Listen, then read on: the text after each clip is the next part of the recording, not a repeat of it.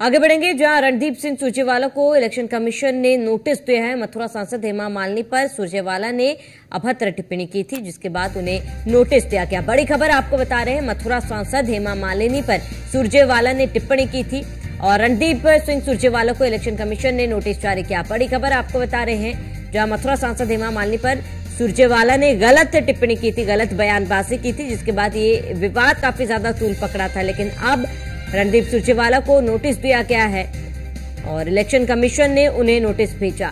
मथुरा सांसद हेमा मालिनी पर सुरजेवाला ने गलत टिप्पणी की थी और इसके बाद ये मामला काफ़ी ज़्यादा तूल पकड़ा था, जिसके बाद मथुरा सांसद हेमा मालिनी पर टिप्पणी करने के लिए इलेक्शन कमीशन ने रणदीप सिंह सुरजेवाला को नोटिस भेजा है।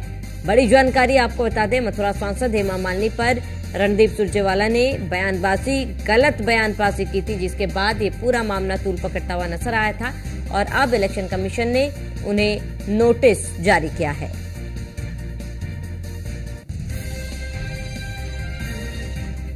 अधिक जानकारी के लिए संवाददाता पीयूष तिवारी हमारे साथ जुड़ चुके हैं। पीयूष, रणदीप सुरजेवाला को नोटिस जारी किया गया। इस नोटिस में क्या कुछ लिखा गया है?